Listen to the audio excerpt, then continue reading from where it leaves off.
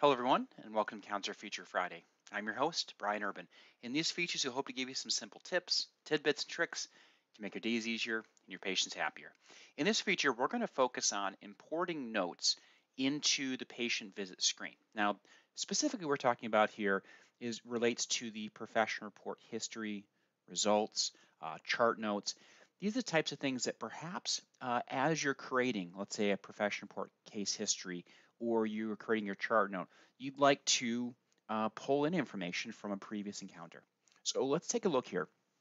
For this sample patient, uh, they have a few uh, visits already in place. I'm going to go ahead and, and, create a new visit. Okay.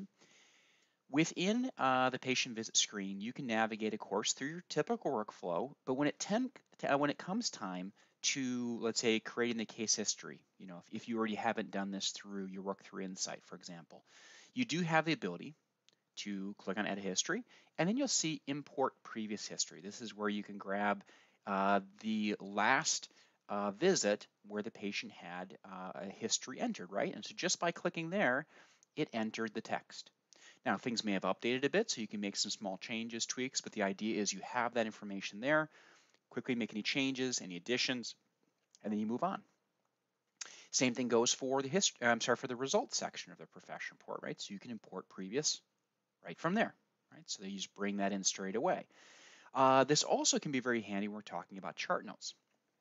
So if we jump over chart notes and then hit edit notes, what we're going to see is it's slightly different in the edit chart notes screen.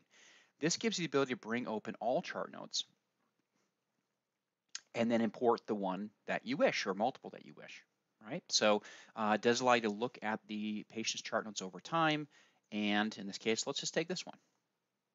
Okay, and it grabs and pulls that information in. Now, just like we saw with the professional report history, you can make changes to this. You can add new, uh, you know, click on new templates to add new text or type in whatever it is that you wish. But one thing in the focus is to be able to uh, pull this information over very quickly in a very targeted fashion.